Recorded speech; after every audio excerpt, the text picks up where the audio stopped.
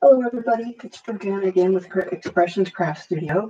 And I'm finally getting around to making some of these inexpensive file folders that you get from back to school section of Walmart and probably a lot of other places. And I'm turning them into dividers for my various craft supplies. Today, the ones I'm making are for my stamps and dies, but that are um, in envelopes or pouches and not the wooden block ones. And uh, basically what I've done is I've just taken some folders like this. I've cut the front and the back off, and I've even saved these little pieces flaps here because I'm going to use those for stencils, to cut my own stencils. And um, I've got some of those ready. So I've already cut some, but these are what they look like after I cut them apart. And I just use my guillotine cutter to cut them apart. Um, I mean, you could use scissors. You might even be able to use uh, a different paper trimmer, but because these are plastic, roughly four mil, I don't know exactly what they are. Um, I don't know how well that would work, but my guillotine trimmer worked or cutter worked really well. So here's the the ones I have left to do.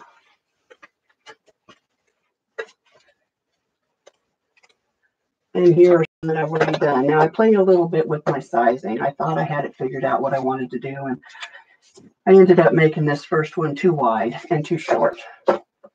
Um, actually, that wasn't the first one. The blue one was the first one. So it's a little too wide. I'm going to have to trim it down a little bit. And a little too short, but I thought if I put it in the front, it'll be okay. I'll be able to see it. Um, and you can just flip them so they go back and forth by just flipping. Oh, that's not right. By just flipping the side of the folder.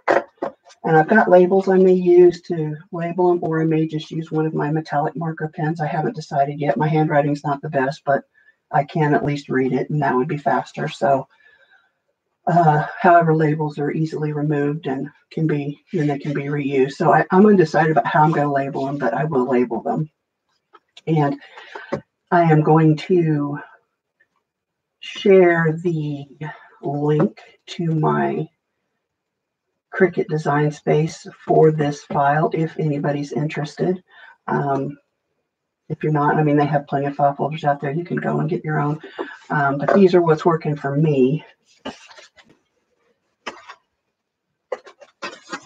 And what they'll be doing is going between the stamps and die envelopes. And these are the larger of the two sets that I have. And so I just wanted them tall enough that they would poke out above the top and wide enough that they fit easily in the bin. So what I need to do first is grab a mat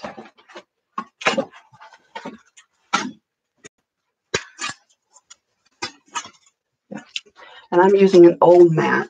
So um, I'm using tape because I don't want it to lift up off of the mat while it's cutting. But if you're using a newer mat, and actually a newer mat would be perfect for these because they're plastic, they're not going to tear like paper might. Um, you wouldn't probably not need to use any additional tape. This is just my precaution because this mat is very old. It's uh, I've had it for a long time.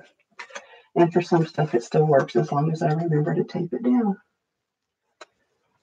Tape's getting all wrinkled where it's been peeled up.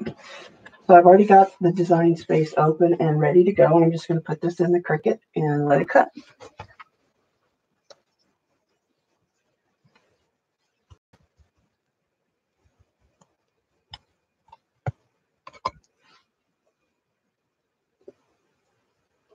Now I've got this set under the plastic setting. It's on custom. Custom. Uh, this I'm just using the Cricut Explorer. So the dial's set to custom. Sorry about my pink fingers, my ink for my printer me. Um, set your dial to custom. I selected under plastic um, four millimeter stencil material. And I set mine to cut twice because I want to be sure it went through, even though I'm using the deep cut blade. It really only needs to go around once because it is um, cutting it rather easily one time around.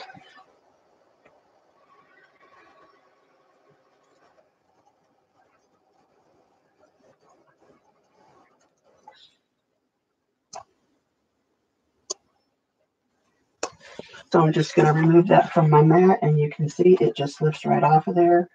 Now I've got a divider and I can flip it either way. I can take this sticker off that came with it. And I've got my divider all ready to go. It just needs to be labeled. And I'm going to finish doing these, but that's how easy that is. Very quick, very easy. Like I said, I will share my file. I may have to uh, edit, but it will be for sure posted on my uh, Facebook page, Expressions Craft Studio, in the group is where the links are. And I'll try to post it on the page too. There's a page and a group. Um, you feel free to join, follow, like, whatever. And um, to see you again for another quick tip.